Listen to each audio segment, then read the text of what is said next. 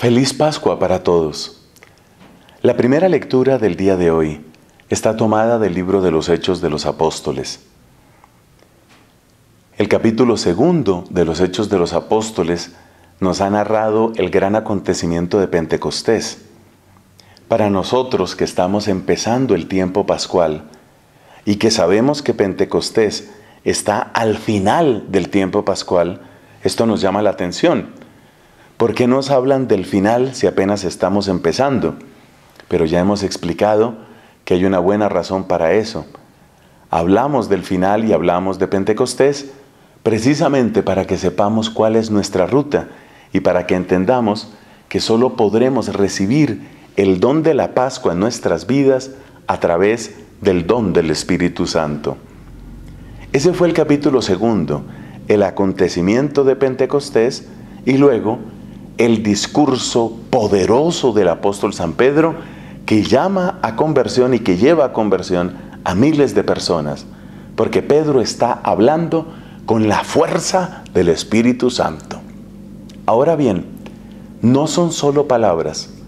El capítulo tercero nos muestra que esa fuerza del Espíritu Santo produce también cambios maravillosos en nuestra vida. Es decir, más allá de las simples palabras, tenemos que hablar de las obras. El Cristo vivo que nos ha dado el don del Espíritu Santo, obra también con nosotros. Como dice el evangelista San Marcos en el capítulo 16, Cristo obra con sus discípulos. Él está cooperando, Él obra con nosotros. El resucitado está obrando está haciendo los prodigios que le conocimos en Galilea, en Samaria y en Judea, está haciendo sus prodigios a través de esa fuerza de espíritu que lo hace presente en el ministerio de los apóstoles. Esta es una gran enseñanza.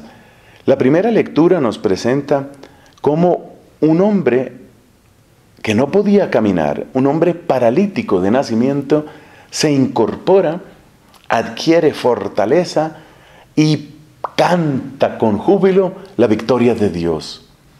Es la imagen misma de lo que hace el Espíritu en nuestra vida. También nosotros podemos decir con el salmista, como está escrito en el Salmo 51, en pecado me concibió mi madre. Podemos decir que cada uno de nosotros es paralítico de nacimiento. Lo somos en verdad, Paralíticos en el sentido de que la fuerza que tenía que llevarnos hacia adelante, que es la fuerza del Espíritu Santo, que es la fuerza del amor, era una fuerza ajena para nosotros. Conocíamos amores, por supuesto. Teníamos formas de amar, por supuesto. Pero esas formas de amar marcadas por el egoísmo, marcadas por el propio provecho, marcadas por la lógica de la transacción. Yo doy simplemente al que me da y yo trato como me traten. Eso no va muy lejos, eso no avanza. Por eso somos paralíticos. La persona que lamentablemente está paralítica puede agitarse, pero no avanza. Puede, puede moverse, pero no avanza. Eso somos nosotros. Nuestra capacidad de amar cuando no tenemos la gracia del Espíritu Santo se parece a la realidad difícil que viven con gran dolor las personas que tienen parálisis. Pueden agitarse, pero no pueden avanzar. Eso somos nosotros. Y por eso cuando llega la predicación de los apóstoles y cuando llega el nombre de Cristo y cuando llega la efusión del Espíritu, Ah, entonces se cura nuestra parálisis que era de nacimiento y entonces podemos incorporarnos y ahí sí podemos avanzar, ahí sí podemos cantar las misericordias de Dios y ahí sí podemos dar testimonio ante nuestros hermanos. Por eso tenemos que reconocernos en la persona de ese paralítico y darnos cuenta que los mismos apóstoles que nos han enseñado son los apóstoles a quienes Dios ha concedido la fuerza para transformarnos. Y transformarnos quiere decir realizar en nosotros estas maravillas, las que escuchamos en la palabra divina.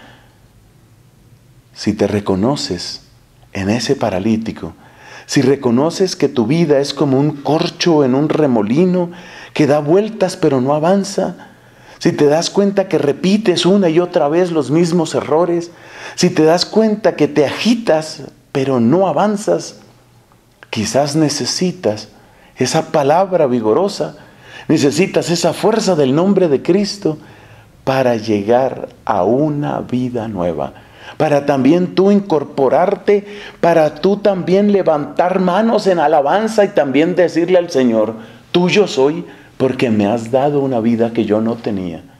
Esa es esa es la esencia de la Pascua. Hay que renovar esa experiencia, hay que renovar ese amor.